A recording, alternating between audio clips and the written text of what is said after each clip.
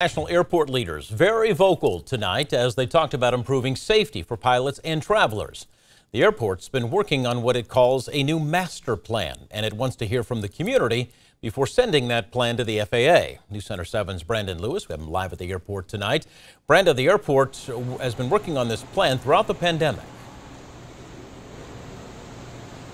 That's right, James. WHIO TV tonight has reported on some of the improvements being made here at the airport, but in its latest plan, Airport leaders say the new changes may not be as visible as the upgrades happening here in the terminal area. Despite that, they hope that these changes, if they're approved, will make a difference.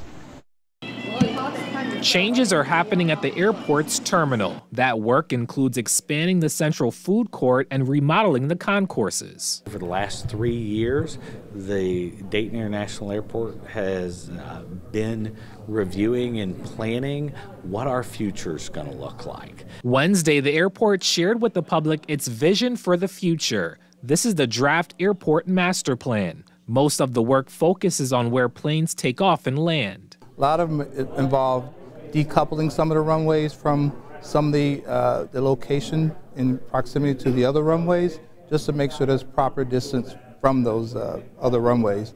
And also realign some of the taxiways. Turner said reconfiguring the runways and taxiways will only make it safer. I think uh, safety and visitor experience uh, are, are wonderful things to be mindful of when you're planning. Douglas Horvath showed up to see the impact these changes would have on green space near the airport. He admitted sometimes it could be more expensive to fly out of Dayton, but for the most part. In general, it's great to come here because the security lines aren't really long and you can find what you need.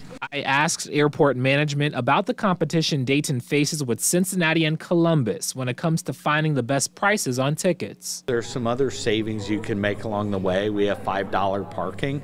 Um, we now have two low-cost airlines. Do you think this will entice people who use Cincinnati and Columbus to use Dayton? We hope so. Always, you know, we want uh, the community to use their local airport. And the airport hopes to submit this draft master plan to the FAA at the end of the month. This is a 20-year plan. If, if all the changes that they propose are approved, it could cost upwards of $300 million.